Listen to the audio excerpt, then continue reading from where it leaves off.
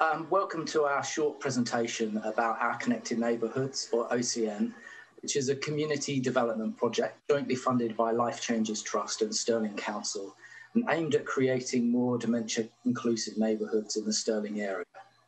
My name is Richard Ward and I'm a senior lecturer in dementia studies at the University of Stirling and I'm one of the partners in OCN.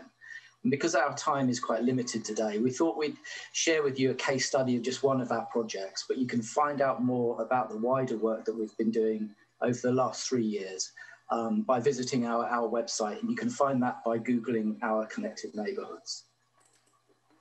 So OCN is, is based on a knowledge partnership with the intention of bringing together different types of knowledge and expertise. So expertise by experience of people living with dementia and unpaid carers has been central throughout uh, the project, but further informed by knowledge of research evidence from an academic perspective and expertise in dementia practice contributed by 14 partner organisations that work with people with dementia in the Stirling area and led by ArtLink Central. So as part of my role on the project has been very much to ensure that OCN has um, been evidence informed by sharing findings um, from the wider research and also my own uh, recent research on dementia and, and neighbourhoods.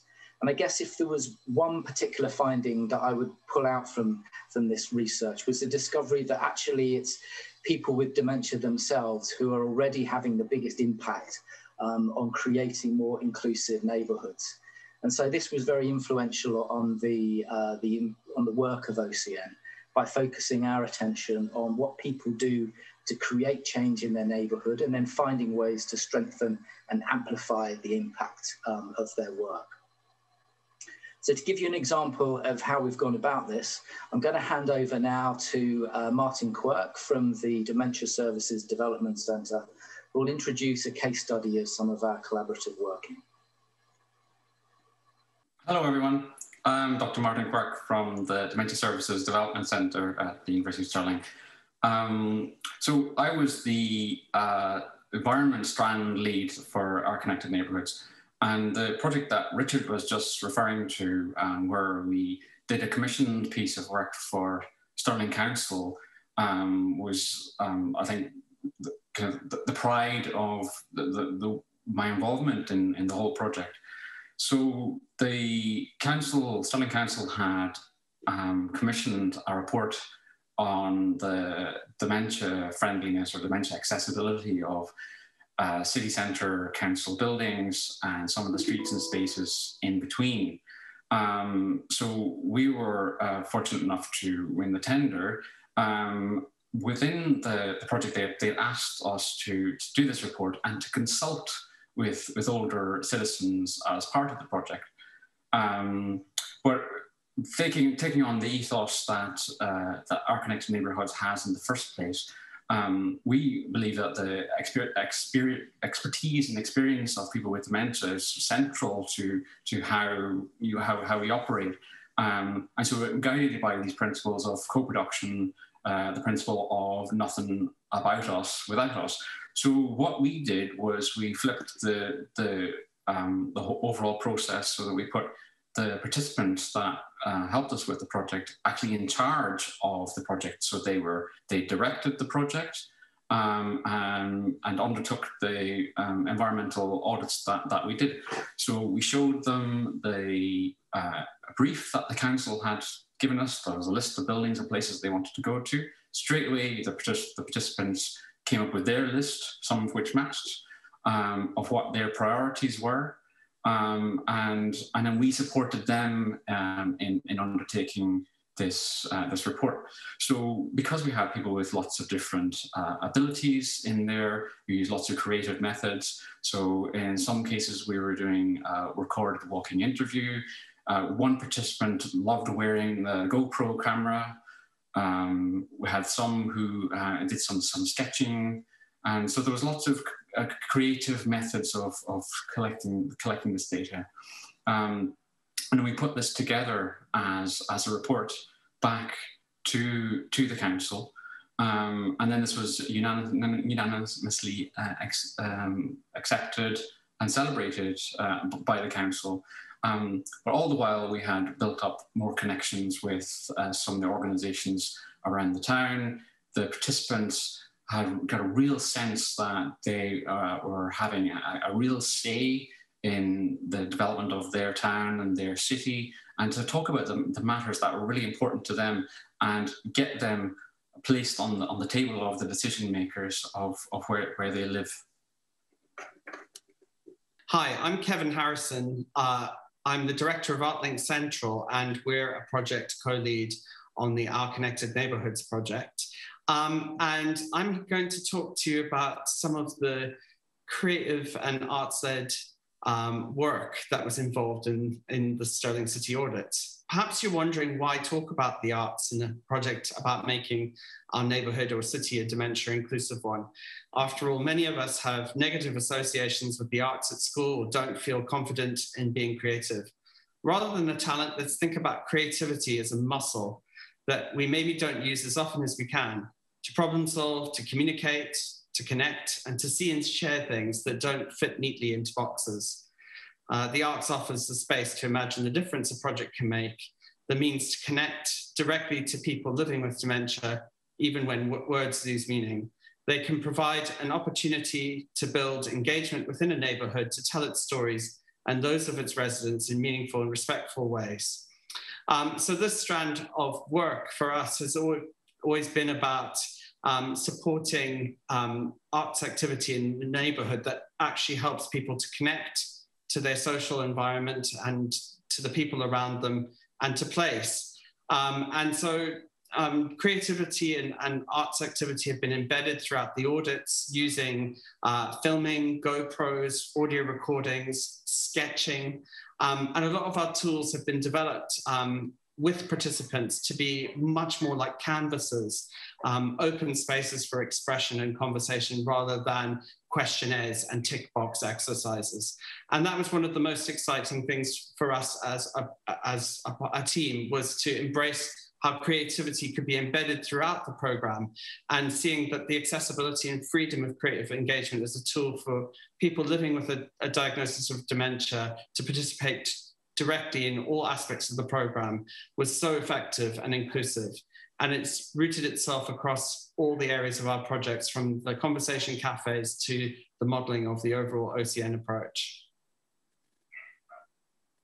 My name is Margaret Innes, and I'm retired and I worked in Stirling Council in the social work department.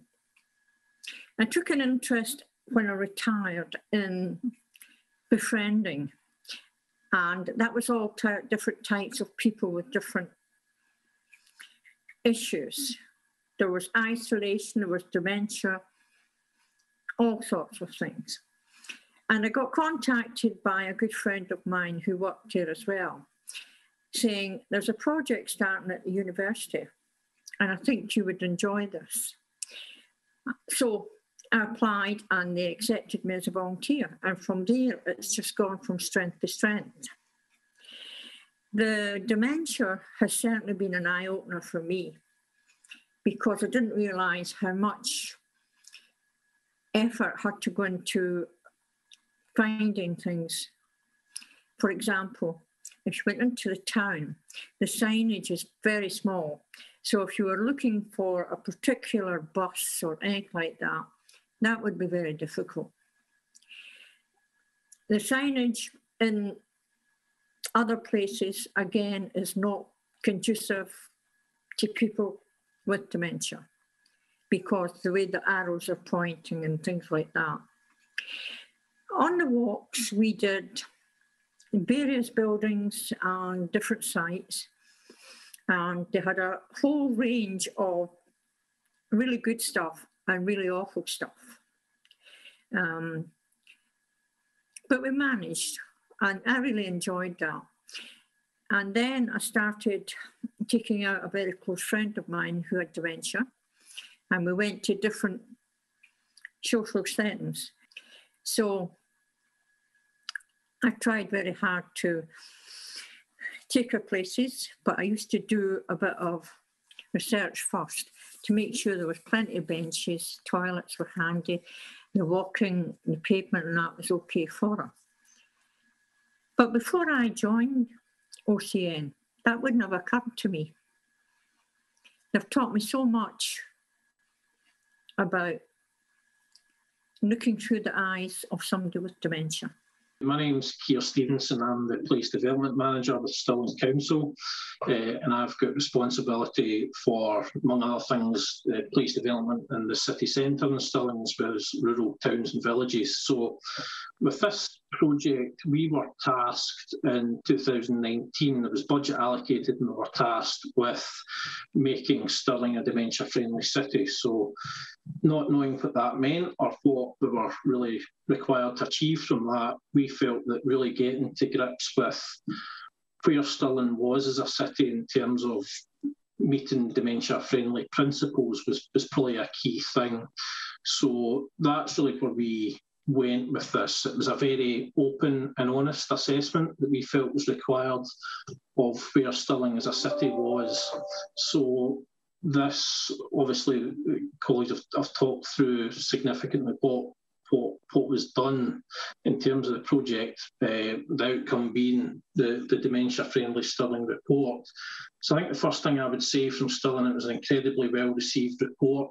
Um, it was taken to full council in March of this year, and it was very well received, culminating in the council taking the decision that all future projects should align with the principles of, of dementia friendly.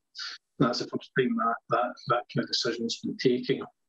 Um, it really gave us some clear and concise recommendations about how we should take, be taking forward improvements in placemaking in the city. So some real solid recommendations for us to take forward and it's also to help us shape our future plans and investment. The work that's been done has now been embedded within our city centre action plan for the next five years, and we've already completed spend at Stirling Bus Station with new flooring and information provision. So already we've seen some um, improvements made as a result of this work. There's further capital spend been allocated as a, an output of this report to deliver recommendations coming out of the study. And councils also took the decision to, to provide further funding to extend the principles out with the city centre area. So that would be into rural towns and villages as well. Such was the merit they saw in the report itself. It's not just in money allocated itself to, to, to projects aligned with dementia friendly, I think the council really sees this as central to everything it does now. And I think that that came out in the, the ask from council that any projects or capital developments aligned to the principles of dementia friendly. I think as well as those practical steps, it's about the approach itself that was taken. This is local residents at its heart, local residents living with dementia, or carers obviously.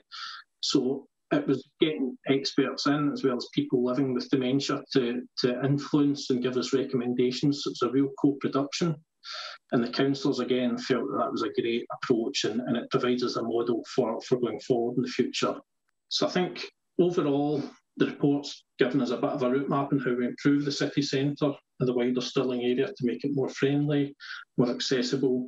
It will support health and well-being, but also um, support economic growth as well. And one of the really interesting aspects of this report was while it was local residents that were involved in the working group, they looked at some of the recommendations through the eyes of visitors to the city as well. And Stirling relies heavily, its economy relies heavily on the visitor market and tourism as well as retail. So having that aspect as well from the working group is, was, was really, really important as well. So, yes, I think it's safe to say that, that we were really pleased with the report at Stirling Council. We look forward to working in the group on an ongoing basis.